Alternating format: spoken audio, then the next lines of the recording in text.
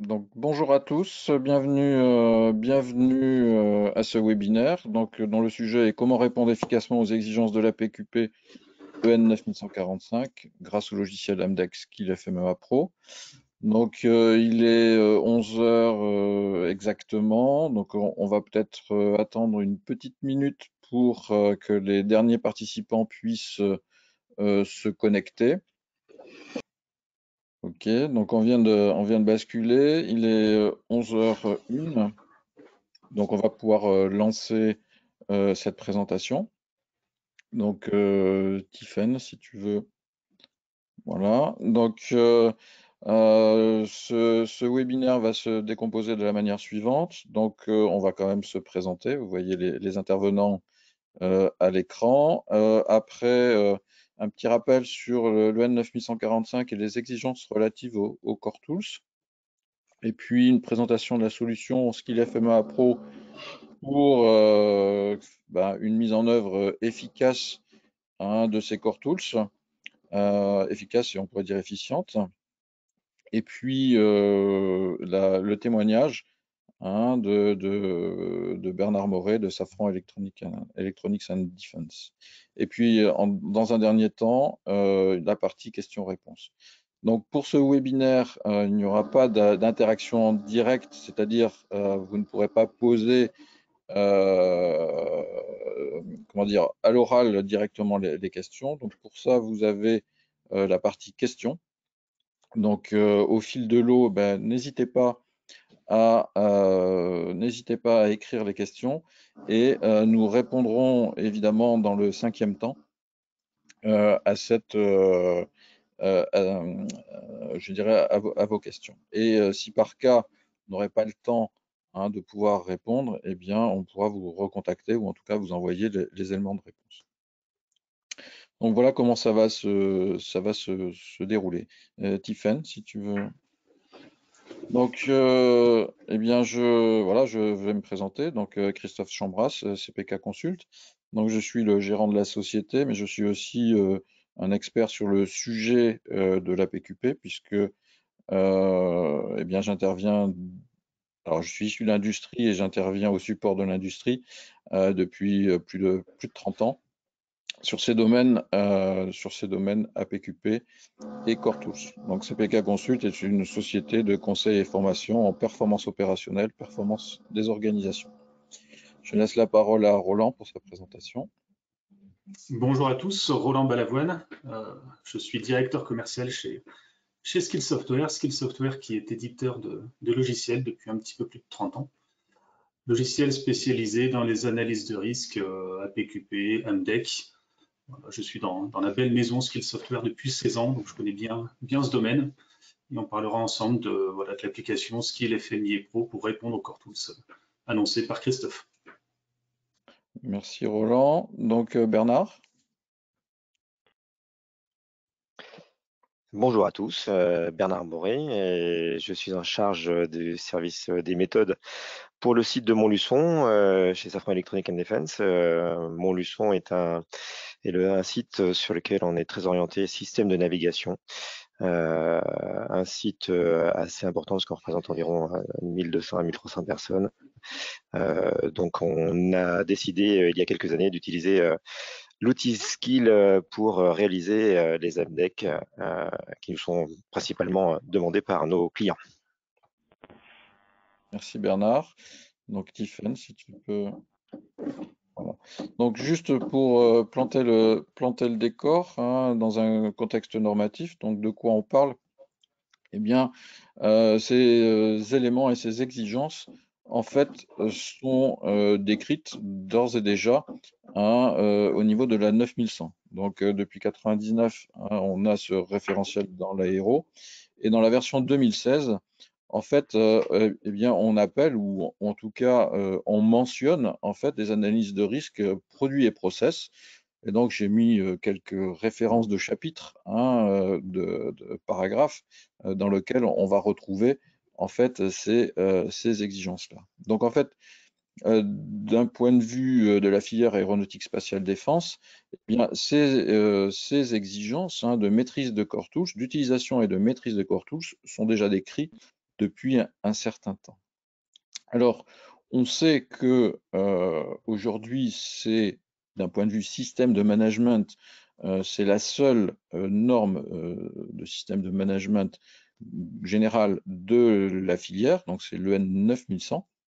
Et on sait que régulièrement, hein, tous les 8 à 10 ans, euh, eh bien, euh, il y a des évolutions euh, qui sont faites pour intégrer en fait la montée en maturité, pour, augmenter, pour intégrer les éléments bah, nouvelles technologies, voilà. Et donc, une, une, évolution attendue. Cette évolution, elle c'est officiel, hein, elle va sortir en 2026. Et pourquoi je fais cette référence-là? Eh bien, jusqu'à présent, la PQP EN 9145 n'est pas certifiable, n'est pas auditable. Et euh, donc, il y a des exigences, euh, évidemment, hein, puisque nul n'est censé ignorer euh, les normes qui s'appliquent à son secteur. C'est dans les contrats de la plupart des grands donneurs d'ordre ou, des rangs 1. Euh, mais il n'y a pas d'obligation de certification. Donc l'avenir tel qu'il a été défini, hein, c'est que euh, on le voit, euh, on le voit hein, sur la partie linkage to advanced product quality planning. Donc ça veut dire que à partir de 2026, eh bien, il y aura des questions au niveau de l'audit. il y aura des questions qui vont adresser en fait les particularités euh, de la PQP. Alors, si, euh, on, si on, a décliné d'ores et déjà hein, euh, les exigences de la 9100, normalement, il ne devrait pas y avoir de, comment dire, de difficultés hein, dans cette nouvelle version de 2026. Alors, on a ce lien avec la PQP, mais si on regarde en fait les autres, les autres points, eh bien, on voit qu'il y a des éléments relatifs à la sécurité et la PQP, quelque part, hein, adresse aussi, bien évidemment, ces éléments liés à la sécurité. Mais on voit aussi euh, cette culture qualité hein, et euh, l'utilisation euh, de la PQP et des corps tous associés, eh bien, et, rentre dans cette, pardon, dans cette catégorie. Et puis, un autre point, qui est aussi important, c'est le Subtier Supplier Controls. Donc ça veut dire quoi? Ça veut dire que dans la maîtrise hein, de la supply chain, donc de vos propres fournisseurs, en fonction de où vous vous situez hein, dans, la, dans, la, supply chain, eh bien, euh, vous devez euh, vous devez intégrer, en fait, leur demander euh, des éléments de cette APQP. Ceci existe d'ores et déjà, puisque si vous prenez le document PIPAP, Hein, eh bien, vous avez une petite phrase qui vous dit, eh bien, quand vous signez, vous vous engagez, là où c'est possible, à décliner les exigences hein, de la PQP et du PIPA. Donc, 9145 euh, va intégrer quelque part, c'est un référentiel à part, mais va être intégré d'un point de vue des questions dans la 9100. Alors, le maître mot hein, de la 9145, c'est l'anticipation. Donc, c'est se poser les bonnes questions au bon moment, donc à la fois au niveau de la gestion du projet, mais aussi à l'intérieur du projet, notamment grâce au DFMEA et au PFMEA, qui sont des éléments essentiels de ce qu'on appelle les core tools. Tiffen, si tu veux. Merci. Donc, qu'est-ce qu'on voit et qu'est-ce qu'on constate hein? Euh, Moi, je, travaille depuis euh, euh, plus de 15 ans avec le secteur aéronautique sur ces domaines-là, bah, c'est que en fait, on a tendance à avoir des, retouches, des rebuts, donc des coûts internes qui sont élevés. Donc ça, ça impacte directement la rentabilité, mais aussi on a de l'insatisfaction client, on a des réclamations clients.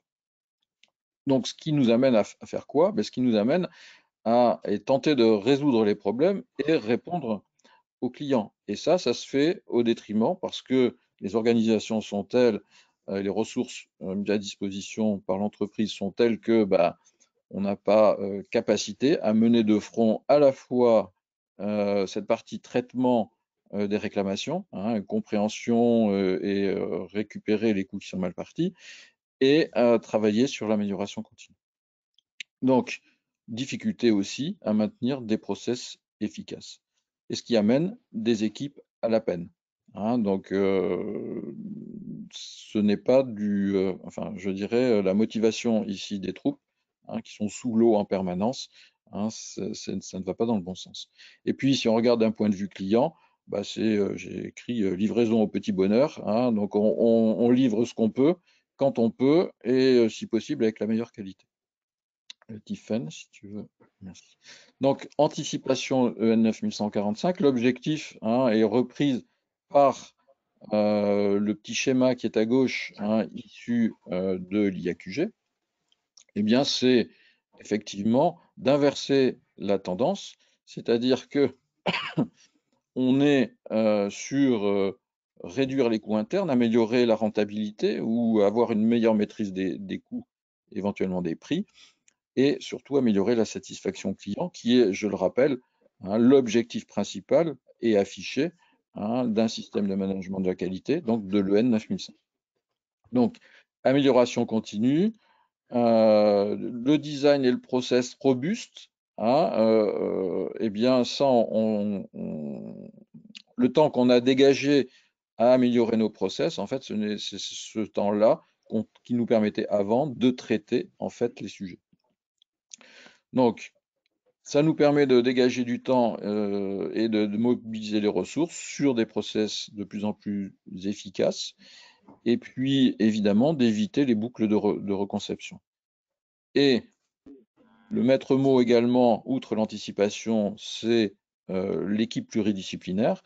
Donc le fait de, travailler ensemble, bien évidemment, va aller dans le sens d'une meilleure maîtrise hein, euh, des risques euh, et des livrables hein, attendus par le client, mais aussi ça va permettre de valoriser en fait les individus. Donc on va rentrer dans une spirale euh, plus favorable hein, et on va peut-être être plus attractif parce qu'il ne faut pas oublier que euh, on a dans la filière un problème d'attractivité euh, comme dans, l'industrie, mais en plus hein, avec le bashing de l'aéro, ça peut être un peu plus compliqué. Et l'objectif, évidemment, hein, c'est d'avoir des, livraisons sécurisées.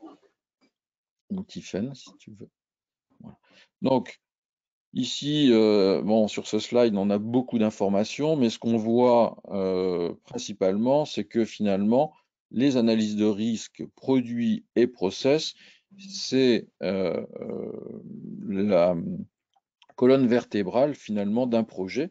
Donc, se poser les bonnes questions hein, sur la partie design pour savoir quelles sont les fonctions attendues, quels sont les risques associés à la non-atteinte des exigences, etc., etc., c'est très important. Euh, parce que ça va définir en fait nos stratégies d'industrialisation et derrière de maîtrise de la qualité hein, des, euh, euh, des produits qu'on va fabriquer et livrer à notre client. Et ce qu'on voit au travers de ce schéma, ce que l'on voit, hein, c'est bien que tout est lié. Donc ça veut dire que quand je définis une caractéristique produit, ben, cette caractéristique produit, je vais la retrouver évidemment dans ma PFMEA, dans mon flowchart d'abord, parce que c'est à une opération que je vais la fabriquer. Je vais la trouver dans ma PFMEA parce qu'il va falloir que je la fabrique et que je l'assemble, cette caractéristique éventuellement, et donc que j'en assure hein, en termes de process une bonne indus pour pouvoir bien la maîtriser. Mais si c'est une caractéristique de forte importance, qu'on va appeler une key caractéristique, eh bien, ça nous impose d'avoir un suivi statistique hein, de notre process, donc des paramètres process qui nous permettent de fabriquer cette caractéristique et surtout de s'assurer que le système de management des moyens de mesure et d'essai, le Measurement System Analysis, euh, est bien en place et qu'on a évalué ce qu'on appelle la répétabilité et la reproductibilité de ces moyens.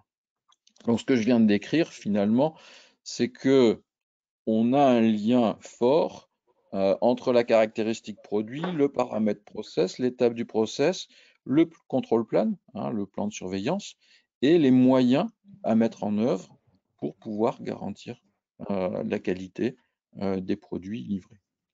Tiffen, si tu veux. Merci. Donc, on l'a vu, hein, il y a de nombreux liens entre les différents corpus et livrables. Hein. Donc, euh, certes, l'analyse fonctionnelle n'est pas un core tools, mais c'est une donnée d'entrée, euh, bah, c'est une des principales données d'entrée hein, de la DFMEA. Évidemment, le cahier des charges, les exigences, le niveau de performance attendu. La DFMEA va nous permettre d'identifier ces KC et CTI, euh, Critical Item. On va évidemment aller sur un plan de diminution des risques. En fait, c'est quoi ce plan de diminution des risques Eh bien, c'est tout simplement euh, la mise en œuvre des actions recommandées pour diminuer le risque au niveau du design. On aura évidemment la même chose au niveau du process.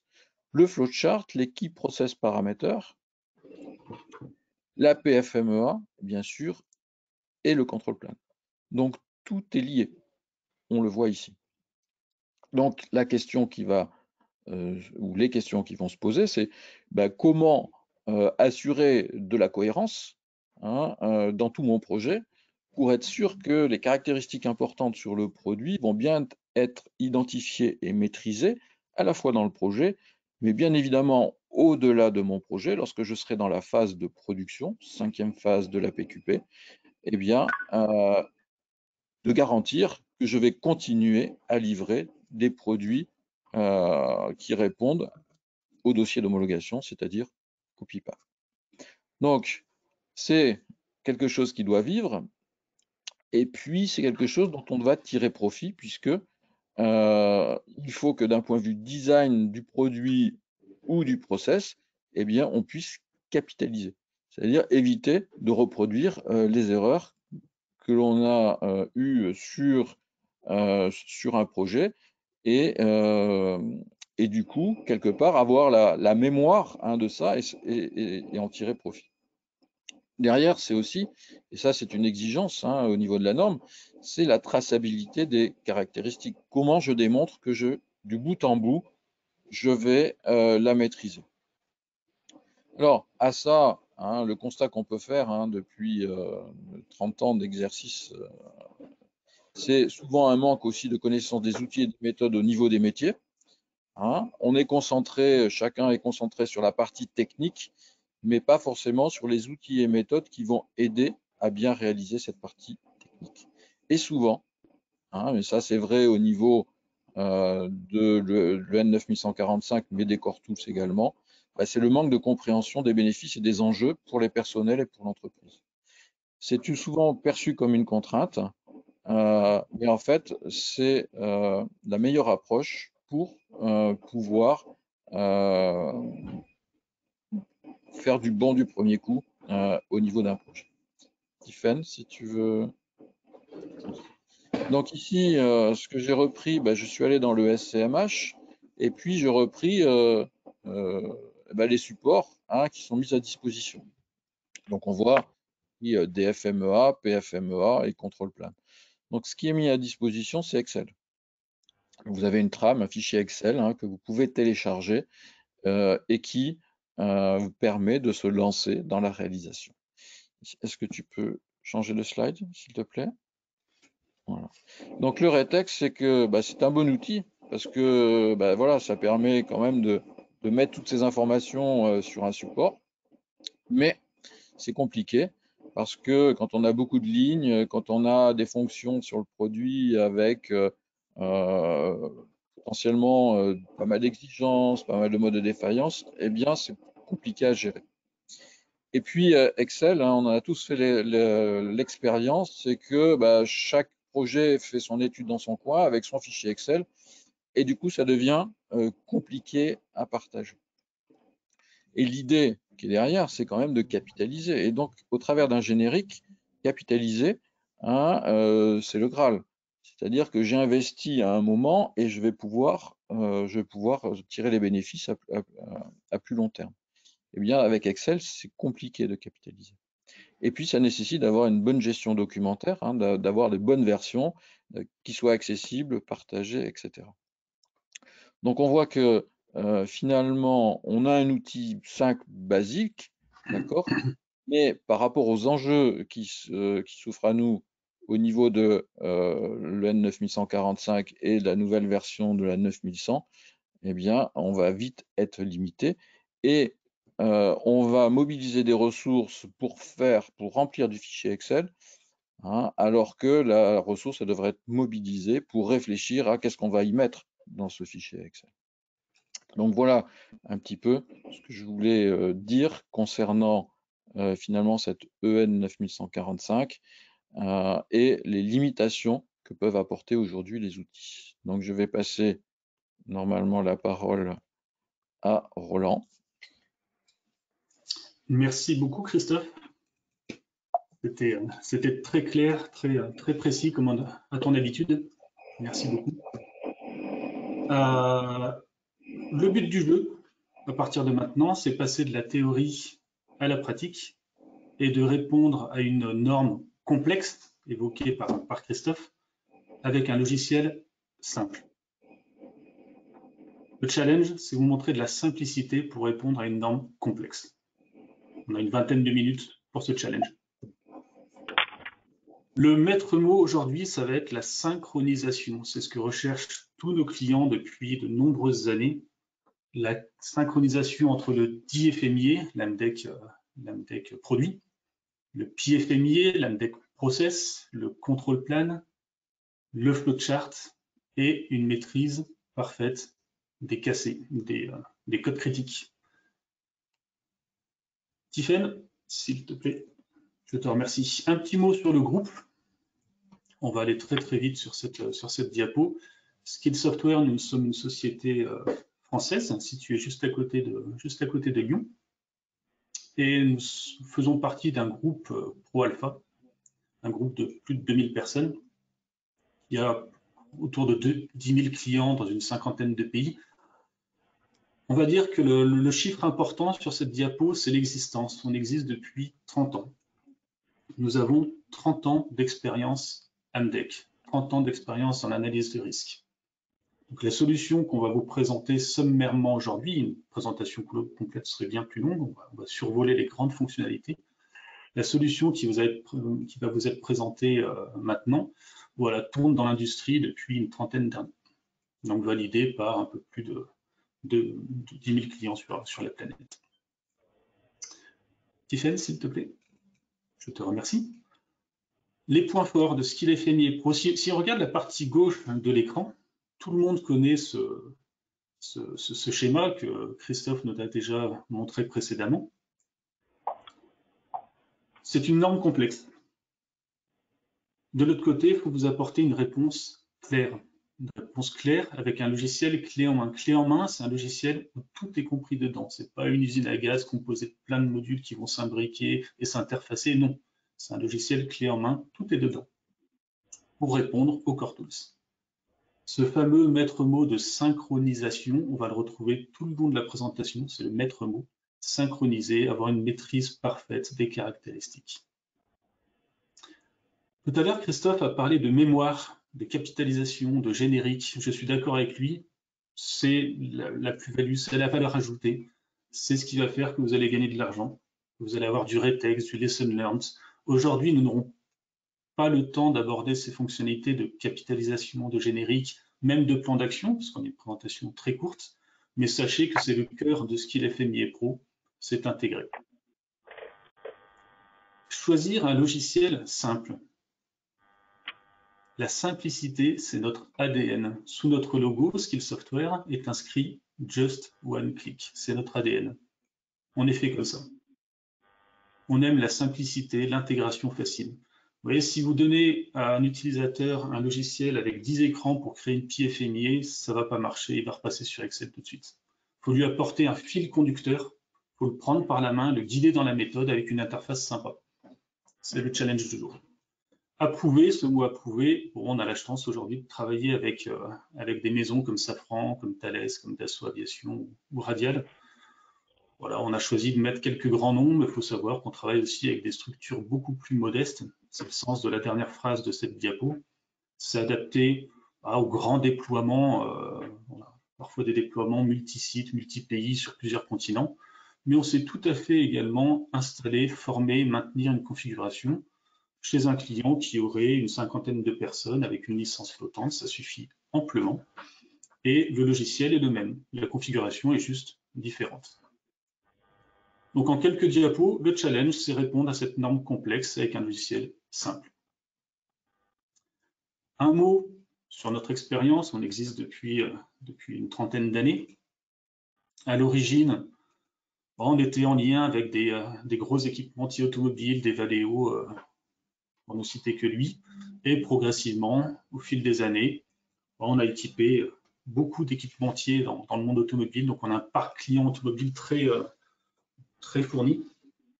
Euh, vous pouvez voir des logos comme ACR, comme Freudenberg, mais il y en a, il y en a tant d'autres. Voilà, donc ça, c'est nos clients historiques en, 30 ans. On va dire que l'index démocratise, ces core tools, ces, normes se démocratisent et on a de plus en plus de clients qui sortent de ces marchés. Ça va être des, des par exemple, des, des Rolex ou autres Total. Et depuis euh, quelques années, euh, nos premiers clients aéronautiques, c'était euh, en, 2018. Voilà, cette, méthode, cette, norme devient très présente dans le monde aéronautique avec des Dassault Aviation, des Thales et autres Safran. Et globalement, si on devait résumer, l'histoire se répète. Ce qui s'est passé dans l'automobile arrive dans le monde aéronautique et on en est. On a mis cette petite phrase rigolote, vous êtes ici voilà, c'est le moment de, faire le pas, de s'équiper, tout simplement. Je rejoins totalement Christophe sur le fait que Excel ne suffira pas. C'est notre expérience. Vous savez, ce fameux mot synchronisation qui va être le mot de la journée, avec Excel, ça ne marche pas lorsque vous devez synchroniser des MDEC produits, des MDEC process, des flowcharts, tout en gardant un fil conducteur, en maîtrisant les cassés et les capés, Excel ne suffit pas. Le but du jeu, c'est de vous prouver aujourd'hui que avec une solution clé en main, une solution dédiée, ça se passera bien. Certains de nos clients ont fait l'aventure d'Excel. Pour être sincère, ils ont juste perdu quelques années on conseille vivement de s'équiper d'une solution dédiée pour répondre à cette norme complexe. Tiffen, s'il te plaît. Je te remercie. Voilà, ce que l'on va faire ensemble, bah, c'est euh, se concentrer sur ce schéma à gauche que tout le monde connaît. Sur la droite, c'est le même, mais version, on va dire, skill, avec un fil conducteur. Oui, il y a des flèches, bah, on va les suivre, hein, tout simplement, on va se laisser guider dans la méthode. Et puis, bah, derrière euh, chaque, chaque, bulle, derrière chaque euh, core tools, on va mettre un écran simple, compréhensible par tous et logique. On va partir de la partie gauche des, euh, des données d'entrée, comme disait Christophe, des requirements, et on va terminer par les, par les work instructions, les, les, fiches de, les fiches de poste, tout en passant par les DFMIA, PFMIA, contrôle plan, maîtrise des cassés. Donc on va dérouler tout ça ensemble. Le but du jeu, c'est que ce soit logique et qu'il y ait un fil conducteur. Parfait, merci Tiffel. Euh, une avant? Non, deux avant. Celle-ci, voilà. Pour rester sur un exemple très simple, je vous propose qu'on se concentre sur un produit très simple, une vanne. On est dans la vraie vie, on va dérouler tous les core tools sur cette vanne, cette vanne qui a plusieurs caractéristiques. On va voir ça ensemble. Et sur la diapo suivante, on va se concentrer voilà, sur le commencement, merci. C'est-à-dire situation de vie, fonction, exigence.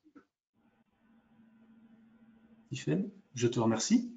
Donc là, nous sommes ici dans l'analyse fonctionnelle pure. C'est le premier écran de Skill FMIA Pro que vous découvrirez. On en verra quelques-uns ensemble. Sur la partie gauche, vous voyez des situations de vie. Donc, on va décliner tout le cycle de vie de notre produit, de notre vanne, de la fabrication jusqu'à la dernière, le, le recyclage. Mais pour notre exemple du jour, nous allons nous concentrer sur l'exploitation, sur laquelle nous avons décliné trois fonctions. Concentrons-nous sur transférer un fluide c'est une fonction.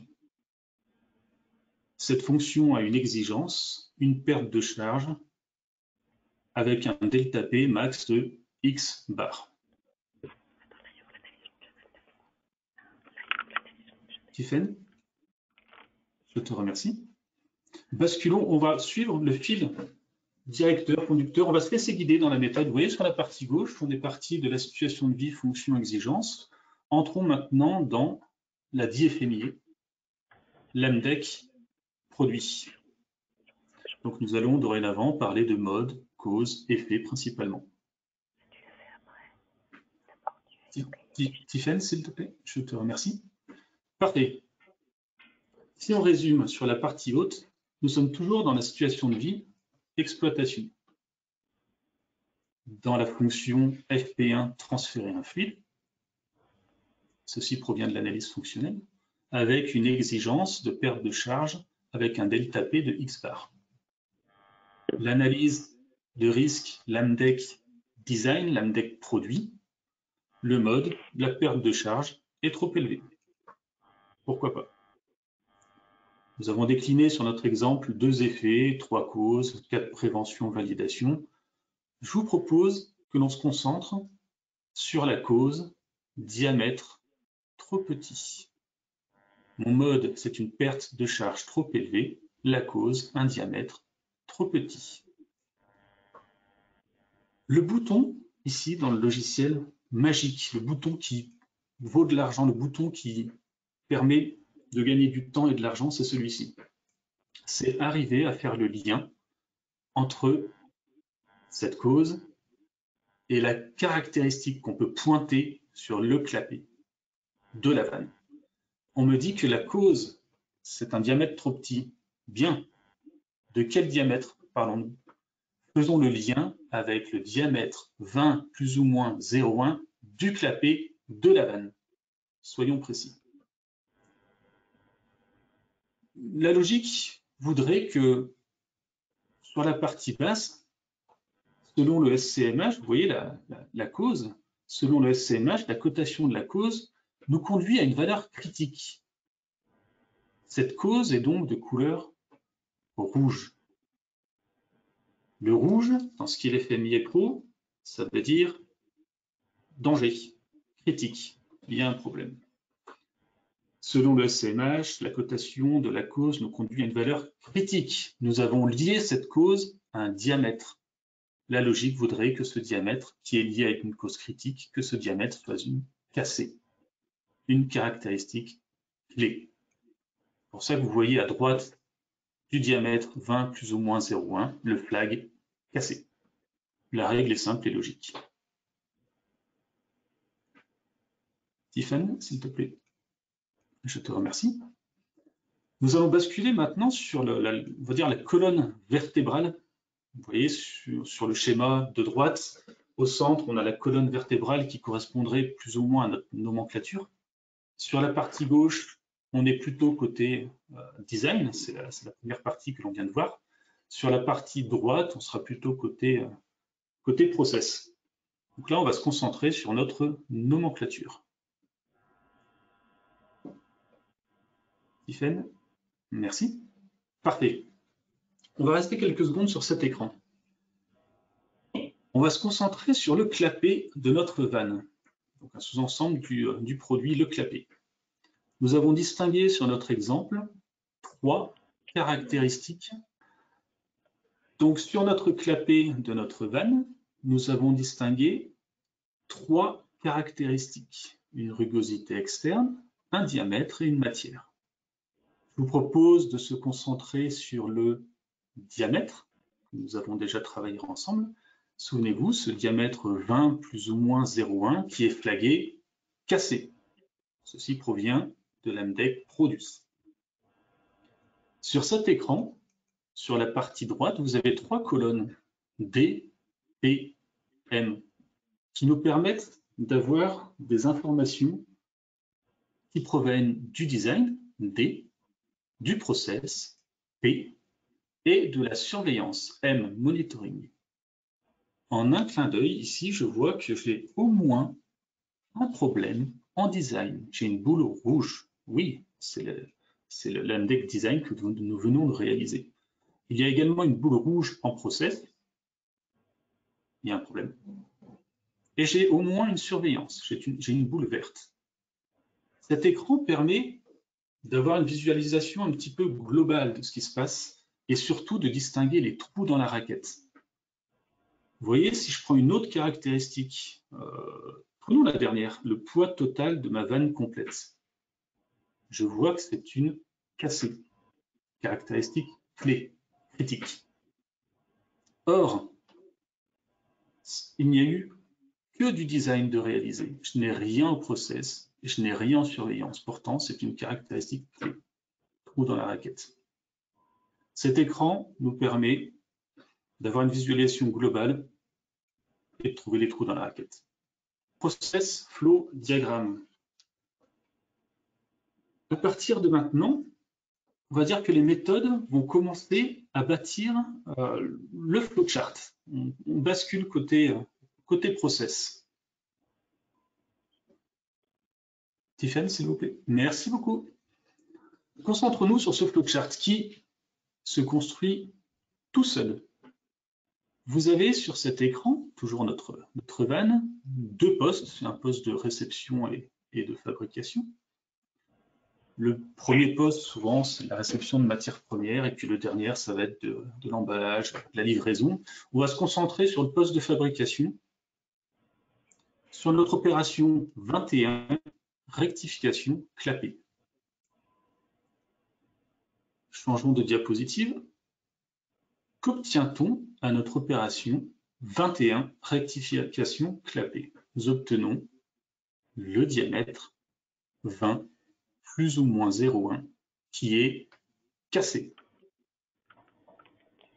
Ce qui est très important comprendre, c'est que on, on inscrit les choses qu'une seule fois. Ce diamètre n'a été renseigné qu'une seule fois. Une seule fois, nous avons dit qu'il était une valeur de 20 plus ou moins 0,1. Une seule fois, nous avons déduit avec l'index produit que c'était une cassée.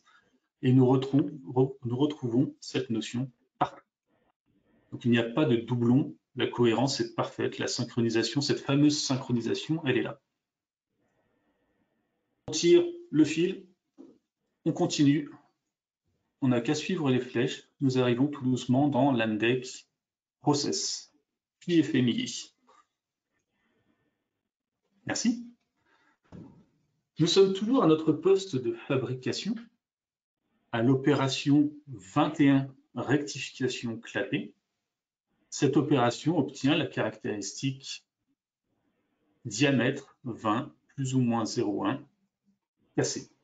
Une fois de plus, je n'ai pas réinscrit cette caractéristique. Quel est le mode Dans notre exemple, le diamètre est trop gros. On a besoin d'un diamètre de 20, le diamètre est trop gros. Nous avons distingué un effet de cause de prévention-détection. Concentre-nous sur la vitesse outil qui est une cause d'apparition du diamètre trop gros. Une fois de plus, selon le SCMH, la cotation de la cause conduit à une valeur critique. Nous sommes donc rouge. Rouge égale critique. À nouveau, le bouton important, j'ai employé l'adjectif de magique tout à l'heure, le bouton qui fait gagner de l'argent, c'est celui-ci. Je. Merci beaucoup. Nous parlons d'une vitesse d'avance, d'une vitesse d'outil trop faible qui provoque un diamètre trop gros. Mais de quelle vitesse parlons-nous? Nous allons faire le lien entre cette cause et le paramètre. C'est la vitesse d'outil de 2000 tours minute. On parle de ce paramètre. Ce paramètre est lié à une cause critique. Il paraît très logique que ce paramètre soit capé, critique. Paramètre clé. Une fois de plus, c'est simple et logique. Parfait. Process qui caractéristique. On continue, on continue, on tire le fil et on tout doucement on se fait guider dans la méthode avec la diapositive suivante. Voilà. Ce flowchart s'enrichit tout seul. Il s'enrichit automatiquement. Faisons un résumé. Nous étions sur le poste de fabrication à l'opération 21, rectification du clapet. Sur la partie droite, c'est des éléments qui viennent du design. Oui, cette rectification du clapet, j'obtiens le diamètre 20 plus ou moins 0,1 qui est une cote critique. Sur la partie gauche, c'est les éléments qui viennent du process. J'ai deux paramètres, une vitesse outil et un type d'outil. La vitesse outil est un paramètre clé 2000 tours minutes. Voilà, ce flowchart s'alimente automatiquement.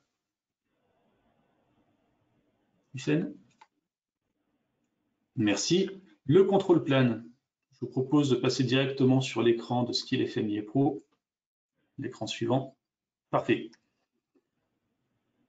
Écran très important, très intelligent. Sur la partie gauche, pour votre contrôle plan, vous avez et des éléments qui proviennent du design, cette fameuse caractéristique diamètre, 20 plus ou moins 0,1, mais vous avez également affiché les paramètres qui proviennent du process, ma vitesse outil. Et sur la partie centrale de l'écran, nous avons créé une double surveillance sur le diamètre, surveillé avec un euh, micromètre par le régleur et puis une deuxième surveillance par l'opérateur. Quant à la vitesse outil, il y a une seule surveillance, on surveille la vitesse de l'outil, souvenez-vous, capé avec un tachymètre par l'opérateur. Diapositive suivante. Parfait, merci beaucoup. On termine par la fiche de poste Work Instruction. Une bonne nouvelle pour vous. On a juste à cliquer sur un bouton et la fiche de poste va être créée automatiquement en reprenant tous les éléments que l'on a travaillés précédemment. Merci beaucoup. Nous retrouvons sur notre fiche de poste notre belle image de notre van, une jolie photo. Souvenons-nous, nous sommes sur l'opération 21, rectification du clapet. Et nous avons sur cet écran des éléments qui viennent du process. Ah oui, nos deux paramètres, vitesse et type d'outil. La vitesse qui est toujours capée, bien entendu. Des éléments qui viennent du design. notre diamètre cassé 20 plus ou moins 0,1. Et des éléments qui viennent du contrôle plan, notre double surveillance sur le diamètre et notre simple surveillance sur la vitesse outil. Tous les éléments sont affichés automatiquement sur la fiche de poste. Parfait. En synthèse, il nous reste une ou deux minutes pour balayer tous les core tools, partir des requirements pour arriver à la fiche de poste, pour balayer toutes les jolies bulles que vous voyez sur la droite. Tiffen, nous avons utilisé six écrans synchronisés, pas plus. Je vous ai montré que six écrans. Je vous ai montré également des éditions, mais avec six écrans, nous avons répondu à ce besoin de synchronisation. Tiffen, et chaque saisie est unique. Bah, c'est ce fameux diamètre 20 cassé plus ou moins 0,1. On a inscrit qu'une fois, on ne peut pas avoir doublon. C'est efficace. Les délivrables du SCMH. Nous sommes concentrés sur notre savoir, sur tout ce qu'on connaissait sur cette fameuse vanne qui avait des diamètres, qui avait des paramètres machines pour obtenir. Bon, ça c'est notre savoir. Mais ensuite, c'est au logiciel de travailler. Et en un clic, de nous éditer tous les délivrables normalisés du SCMH. Je laisse le soin à Tiffen de faire trois ou quatre clics, l'a dit FMIE. Voilà, donc ça c'est des documents normalisés le flowchart, encore un clic et voilà. Donc nous avons ici l'AMDEC produit, l'AMDEC process, le flowchart, le contrôle plan, les fiches de poste, tout ça c'est créé automatiquement et c'est conforme au délivrable du SMH, c'est normalisé.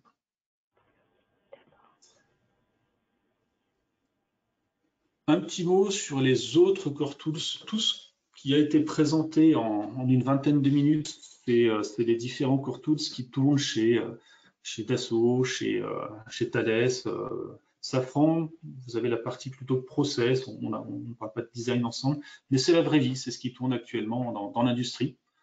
Euh, sur la partie droite, les autres core tools, si on parle de MSA, de SPC, PIPAP et compagnie, on sait faire également, mais c'est d'autres modules proposés par Beaumont Weiss, membre de, notre groupe. Donc on sait aller plus loin que ce qu'on vous a montré actuellement. On sait également remplir le cahier des charges des autres core tools on va dire que la partie fonctionnelle est terminée. La partie euh, terrain, logiciel. je, vais céder ma place, euh, céder la parole à, M. Monsieur Moret de, Safran Electronic and Defense. Safran, chez qui nous avons déployé la solution il y a quelques années, en 2017 de mémoire.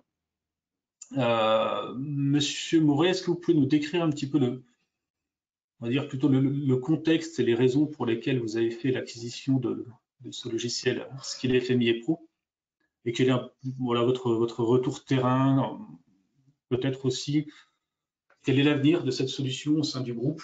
Voilà, un rétex, un retour terrain.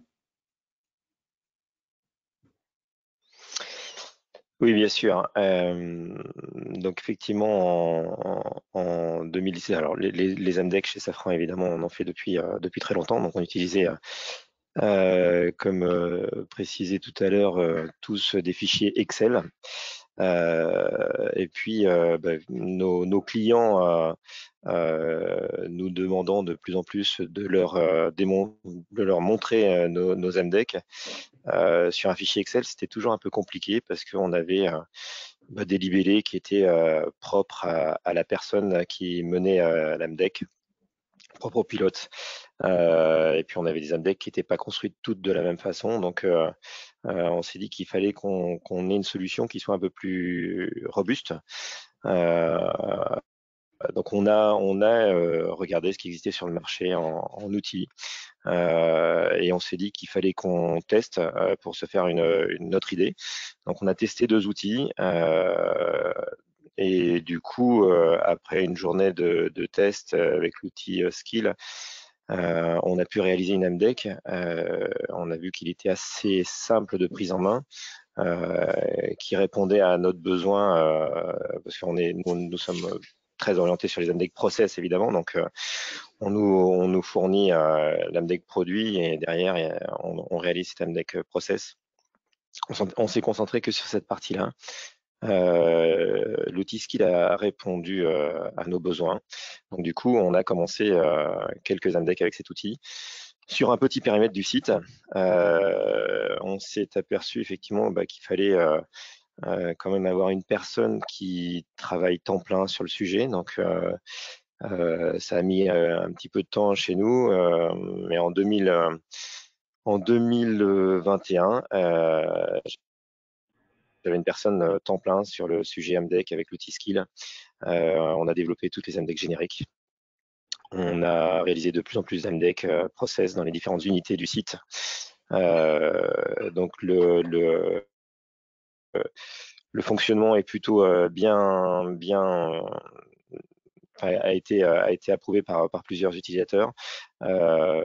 Aujourd'hui, on s'arrête pas là. On a trois personnes euh, qui euh, euh, se consacrent sur les AMDEC. On est allé maintenant aussi sur les AMDEC sur les procédés spéciaux. donc le déploiement est plutôt assez intéressant et cet outil a été présenté au niveau de, de Safran Electronic and Defense sur la partie direction industrielle et il a été euh, validé et donc du coup, euh, nous sommes en train de regarder euh, les infrastructures nécessaires pour pouvoir le déployer au sein de SED. c'est vrai que cet outil, bah, comme ça a été précisé, hein, on, a l'AMDEC Process et sur un, même outil, on a notre flowchart et, et notre plan de surveillance. Euh, donc on a sur un seul outil euh, l'ensemble de la documentation dont on a besoin et, ça c'est un vrai plus. Euh, ce qui est plus aussi sur le qui est apprécié sur cet outil, c'est le les écrans avec des affichages et des, contours arrondis, les couleurs, etc., qui nous donnent directement des informations et qui nous permettent d'aller plus rapidement à l'essentiel. Merci beaucoup, monsieur. Monsieur Bourré, pour ce retour d'expérience. Euh, il est 11h51. Euh, nous avons déjà de, nombreuses questions. C'est le moment si, euh, si vous avez des questions à nous poser à, Monsieur Moret, à Christophe, à, moi-même, n'hésitez pas, que ce soit sur la méthode, sur le logiciel, sur l'expérience. Et nous allons y répondre dans. Alors, je crois qu'il y a plutôt des questions sur le logiciel, donc je, vais peut-être. Euh, il, y a des questions sur le logiciel exactement. Mhm. Euh, je, ne pense pas qu'on pourra répondre à toutes les questions, mais il y en a certaines que l'on peut rassembler qui, ont à peu près la même thématique. Euh, j'ai une question sur, sur, le, voilà, sur le coût de, la solution, sur son hébergement et sur la possibilité d'exporter les, les documents dans des documents Office. Donc le coût de la configuration, ce que l'on vend, tout simplement, c'est des licences flottantes. C'est très confortable, ce, ne sont pas des licences nominatives. Monsieur Moret n'a pas la licence pour Monsieur Moret. Les licences sont mutualisées pour l'ensemble du groupe. si vous avez cinq licences, c'est cinq personnes au sein du groupe qui peut utiliser la solution en même temps. La configuration minimum, bah, c'est une licence sur un site. Voilà, c'était notre fameux décolteur dans la vallée de l'Arve d'une cinquantaine de personnes, notre petit client entre guillemets, mais qui a, qui a, besoin d'une licence flottante. Donc là, on va être sur des configurations autour de 7, 8, 10 000 euros. Et ensuite, bah, on a des configurations qui sont beaucoup plus importantes. On peut monter sur du multi-site, multi-pays, des configurations comme, euh, comme Radial, comme Novares, comme Thales ou bien d'autres. Où là, bah, après, ça va dépendre du nombre de licences. Sur l'hébergement, c'est faire deux choses. Soit la solution est installée sur un serveur euh, chez le client, soit nous nous occupons de l'hébergement. On sait faire l'un ou l'autre, c'est sur demande.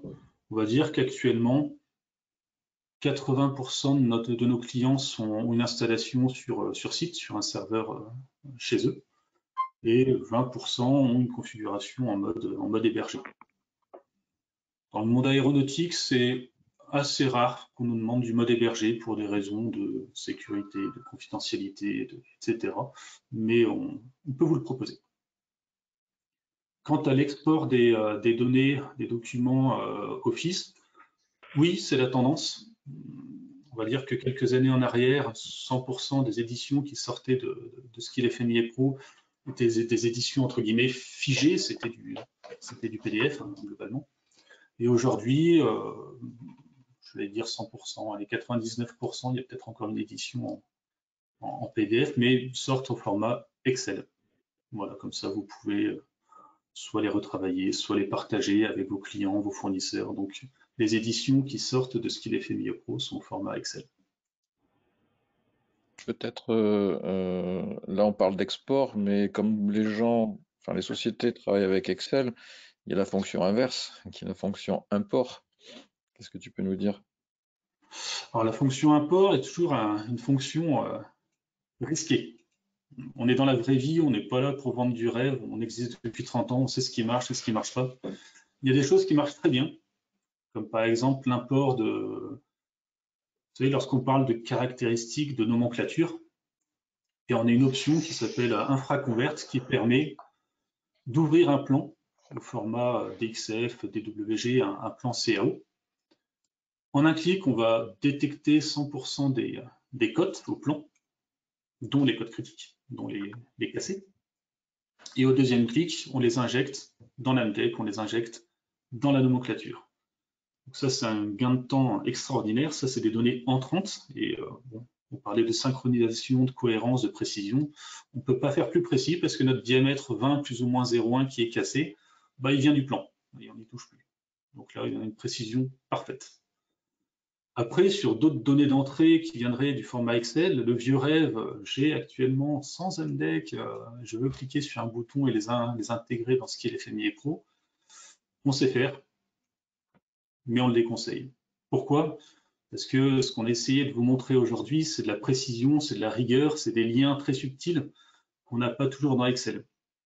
Donc, ce qu'on conseille plus, c'est d'intégrer des listes simplifiées, on va dire. D'accord, vous avez déjà un catalogue avec une liste de causes, de modes, d'effets, d'opérations, par exemple. Donc là, on peut injecter pour nourrir le logiciel euh, au départ, mais c'est toujours une opération un petit peu risquée. On a une autre question euh, sur le fait qu'on met en avant Thales, Dassault, euh, Safran, qu'en est-il d'Airbus Bon, euh, nous sommes euh, très proches d'Airbus, très très proches. Aujourd'hui, nous ne travaillons pas encore avec Airbus, avec les trois divisions d'Airbus, mais on va dire qu'on est en, bonne voie.